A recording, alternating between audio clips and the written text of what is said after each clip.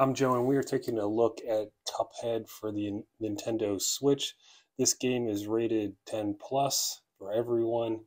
I recently just got the Nintendo Switch, and this was one of the first games that I picked up. Part of the reason why I bought the Nintendo Switch was to get this game because I took a look at it and I really liked the art style of it, thought it was a unique game. And I've been playing this for a couple days now, and man, this game is challenging. It has a couple different modes to it. It has one and two player modes, and also it's essentially a bunch of boss battles where you need to get through the entire battle with your character. Uh, you can play co op mode, which is also fun. It does have some side scrolling boards as well. Um, but overall, really challenging game, really fun. It's a completely different style game than I've ever seen before.